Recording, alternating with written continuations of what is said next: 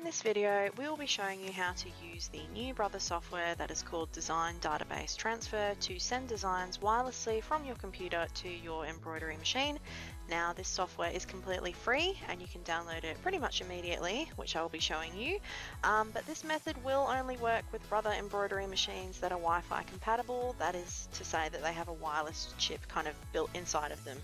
Um, so this wireless transfer method is used as an alternative to using a USB.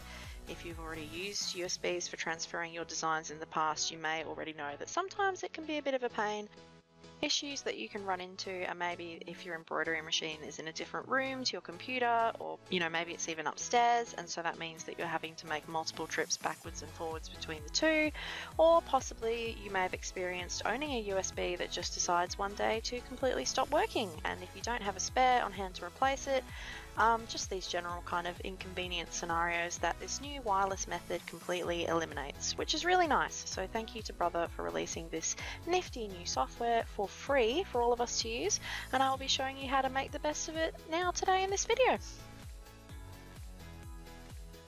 So the first thing that you're going to want to do is get the software onto your computer. So you type the link into the address bar here at the top, and I have put a copy of the link in the video description which will take you to this page on the Brother website and you pick your operating system. I'm on Windows 10. Then we press OK and then you've got a huge long license agreement that you can read through. Just scroll through that one and accept, agree and your download should start automatically. Comes up in the top right hand corner.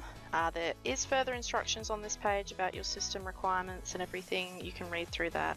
It does have some instructions then we open the file and once we open the file it will ask us what language, I'm speaking English and then I accept the license agreement, allow Brother to collect usage data and hit install.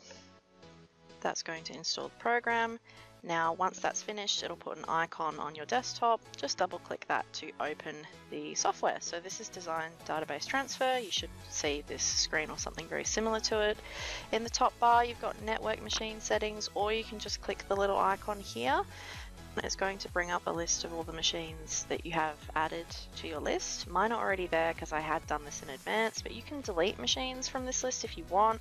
That one's gone now, so I can press add and it will find any machines on the same Wi-Fi network as my computer. So I can just re-add it, add machines to that drop-down list, and those are ready for me to send embroidery designs to.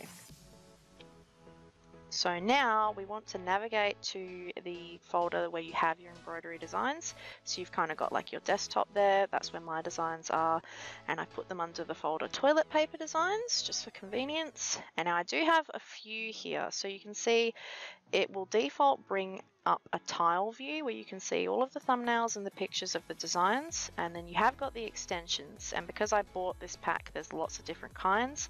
I'm looking for PES um, so you can see if I make it small thumbnails, I can't see the file extension. So I'm actually going to bring it to the details tab and then I've got all the kinds of details like the stitch count, the colors, the type of embroidery file that it is. So now I can just scroll all the way down to PES files and I only want the designs for the 4x4 inch hoop so I can select those by holding control and click to select multiple designs. Then I come down and I press the little downward arrow and that puts it into the right area for it to be sent to my machine. Then I go to the next folder scroll down find those PES designs and select all the 4x4 with the control click button press the blue arrow again. I've brought them down into that area, ready to be sent to the machine. I go to the next folder, do a bit of the same. Now there's no 4x4 in here, so I just kind of move on. Check this one. Still no 4x4 in this one, so I'm going to move on.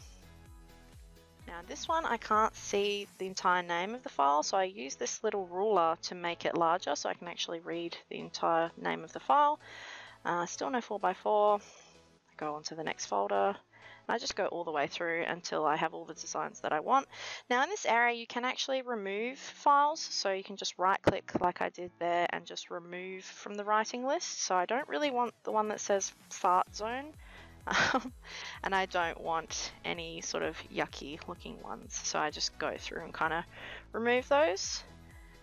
And um, yeah, once I'm happy with all of the designs that are there, I hit the transfer button and it'll take a little moment just for that blue bar to go all the way across. Just wait a second. And then that's done. It says it's finished, so we'll go over to the embroidery machine.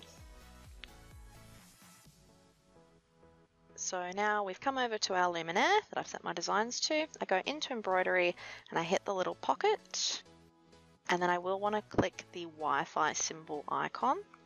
And once I go into there, I can see all of the designs that I just sent from Design Database Transfer. So those are all in there. Um, scroll through and see all of those. Um, and yeah, all that we need to do is just select one, hit set, and that is there in the embroidery area ready for us to pretty much embroider out. So that is all there is to it.